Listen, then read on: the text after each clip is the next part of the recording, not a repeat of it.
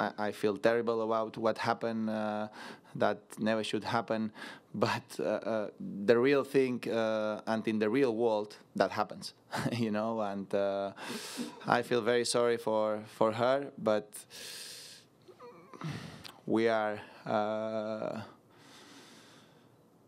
we are having, uh, in my opinion, a great life. We are we are very lucky people that uh, we we are able to to enjoy uh, amazing experiences because of of our life because uh, we are tennis players. Uh, we make money, and even if it's terrible to to hear from that, we need to be prepared for that. No, we need to we need to resist this kind of. Uh, uh, issues that can happen when you are uh, exposed to the to the to the people, no, and at the same time, as we love uh, and we like a lot when the people are supporting. When something like this happens, we need to accept and move forward. No, I, I probably and I, I understand that probably Naomi is not. Uh, uh, he he suffered a lot uh, with his uh, probably kind of issues that uh, she has, uh, mental issues. So uh,